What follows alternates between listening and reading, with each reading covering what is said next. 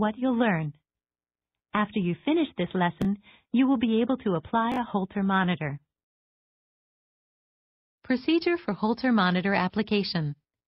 No matter what model of Holter monitor is used, the basic procedure for its application is the same. The assistant performs these skills.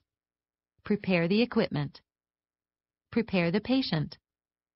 Attach the lead wires and electrodes. Test the monitor. Instruct the patient. Individual agencies may have specific procedures that their employees must follow.